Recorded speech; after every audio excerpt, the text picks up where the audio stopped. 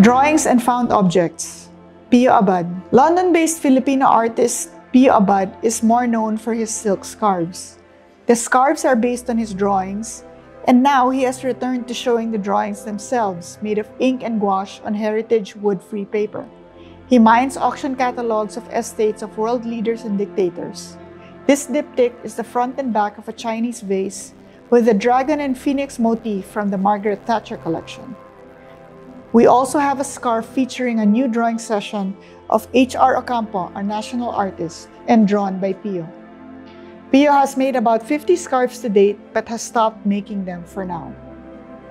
Norberto Roldan Norberto Roldan, or Pee-wee as we all know him, is one of our most senior artists and the founder of the artist-run space Green Papaya Art Projects. These are assemblages by Pee-wee in his signature Baroque frames, vintage wallpaper, and cigar boxes, filled with perfume bottles, pill boxes, Buddhas, photographs, all mementos of imagined lives. The practice making stories of found objects a very important way of art making in the region. This series is called The Beginning of History. Next section, surface tension. Bernardo Pacquing.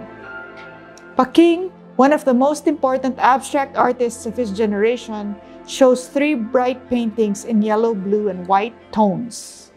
Made for Art Fair Philippines 2021, this series is called Poles Apart. There are three pieces in the series. To see them all, please visit our website at silverlensgalleries.com. Next artist, Gary Ross Pastrana.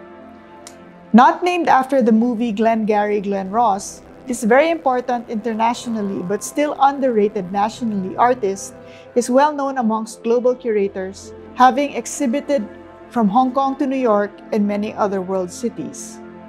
Gary Ross Pastrana is mentor to many young conceptual artists, and his work is all about transforming objects. What you are looking at is a collage of thousands of cut pieces of paper all from auction catalogs. Nicole Coson. The youngest artist on our roster, Nicole is London-based, where she has just recently been chosen as one of the Bloomberg Young Contemporary Artists with an exhibition at the South London Gallery. She has also just opened her first solo show at the Ben Hunter Gallery in the same city. The show has sold out. These are monotypes using a large press to transfer the image onto the canvas. She works with the ideas of camouflage and barriers. These pieces are continuation of her show Exoskeleton, which we hosted here at Silverlens in February. Next section, Water Warriors. James Clark. James Clark is one of our diaspora artists who divides his time between Brooklyn and recently Manila. James works with technology. He develops his own light systems to create visual sculptural works that combine light and technology. This piece is called Rain Under Lamppost. Martha Atienza. Martha Atienza, based out of Bantayan, north of Cebu, is becoming a rock star in the art world. Her videos and installations have been collected by very important global collectors and institutions. She works with her community collaboratively addressing issues such as environmental change, displacement, cultural loss, governance, and socio-economic disparities. This work is called Tarong. It is a single-channel 44-minute-long video, and it follows the rising tide through the movements of a teenage boy from Bantayan. He struggles to swim in place as the tide comes in. The challenge of man versus nature becoming man working with nature. Next section, Painters, Painters. Luis Santos. Luis Santos is the grandson of Malang and the son of Soler. He went to school for a non-art course but could not escape the pull of becoming an artist. He is a painter who plays with different mediums. Here we have paintings and silk screen of jungle images in layers of overlaid canvas. Next artist, Leslie de Chavez. Here we have three of my favorite painters coming up. Leslie de Chavez is the first. He will be having a solo show opening here on the 13th of May of sculpture, installation, and painting. If there must be a Filipino painter, he is the one. This very poetic piece is a graphite on paper canvas of a bird. The lower portion is copper with hammered text and wire and angel figurines.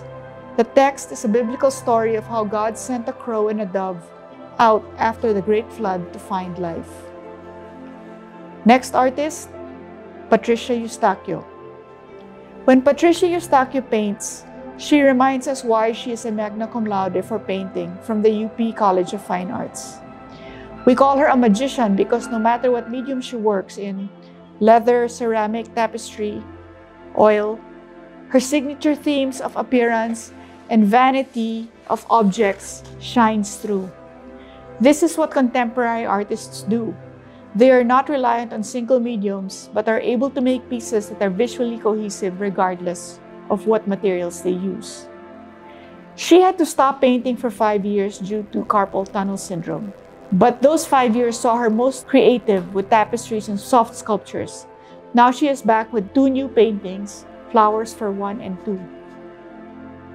Next artist, Jonathan Ching. Jonathan Ching is a painter, self-taught. Trained as a civil engineer, he also could not escape being the pull of a creative. Magaling ang kamay ni Jonathan. I'm so happy that he has made this first large piece of a single canvas a lush painting of a chrysanthemum that looks very abstract up close and takes form once you move away from it. Next section, Hands at Work. Eric Zamuco is one of our most gifted sculptors. He is the winner of the very first Ateneo Art Awards in 2000 and left soon after that to do his master's in sculpture in the US. He uses a mix of materials, metal, wood, acrylic, and overlays photograph tra transfers and paint onto the assemblages. The intention in transforming the ordinary is to pull the immaterial and possibly find knowledge for some kind of human order. Next section, color blasts. Pow Martinez makes irreverent, brash, fun, funny paintings. Satirical but at the same time obvious, tongue-in-cheek, his cast of characters have been growing over the years. For this year's Art Fair Philippines, he presents three guys, an aging Sherpa, an anonymous portrait, and a guy in a cabin. Using the internet as his source of ideas for imagery, he hones in on the mood of the moment, the signs of the times, and the absurdity of representation. Next section, Women in Color. Kitty Taniguchi is an anchor artist in the Visayas. She has been making terracotta sculptures, drawings, and paintings from her studio in Dumaguete for years. She is the source code of artist Maria Taniguchi, her daughter. This piece is entitled Of Being and Nothingness and is the introduction to a solo show of the artist that we are opening on May 13th together with Leslie De Chavez's show.